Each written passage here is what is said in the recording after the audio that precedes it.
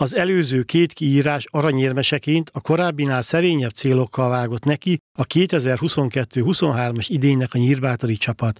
Az új edző Falcsik Miklós négy korábbi játékosa nem számíthatott, a mezőny is erősödött, így a középmezőny célozta meg a bátor.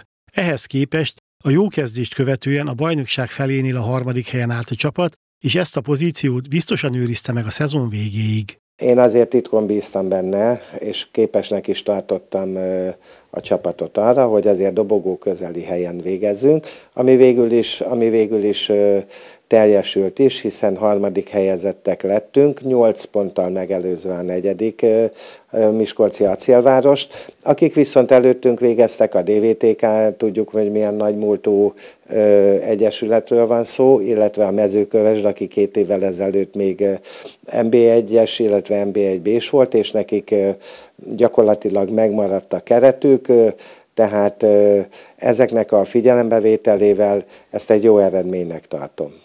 A jó szereplést követően nem indokolt a változtatás sem a kispadon, sem a játékos keretben. A vezetők elképzelése találkozott a kézilabdázók szándékával. Miklósnak szerződése van, és azt hiszem, hogy nem is lenne indokolt az, hogy edzőcserében gondolkodjunk. Jól végezte a munkáját, köszönöm a munkáját, megtaláltuk a közösségben azt a hangot, ami oda-vissza működött, már az edző személyét illetően is. A játékosokról pedig annyit szeretnék el, hogy nagy volt a csábítás, mert többen elmondták, hogy több csapat hívta, hívott bizonyos játékosokat, én leültem mindenkivel szemtől szemben, és négy szem közt, és mindenki úgy nyilatkozott, hogy, hogy marad. Ez azért is örömteli számomra, mert ezek szerint jól érzik magukat.